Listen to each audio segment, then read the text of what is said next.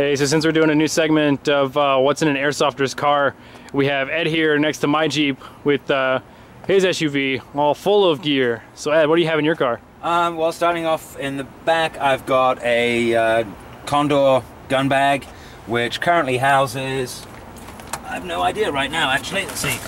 I've got a an old M16, I've got a G&G EBR, my mag pouches uh, are in here. I've got mags for the EBR. I've got a 416. I've got my Polar Star. Got a bulletproof vest. My pistol case. Uh, see, uh, thigh holster, ghillie jacket,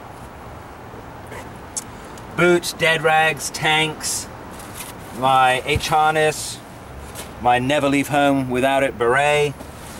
Uh, my Airsoft GI baseball hat, and then I've got two little tucker totes with goggles, face masks, BBs, and then I have my uh, trusty little tackle box with CO2 batteries, optics, Allen wrenches, eye drops, shoes. That's pretty much my uh, the back of my Jeep. My well, my Jeep, back of my car.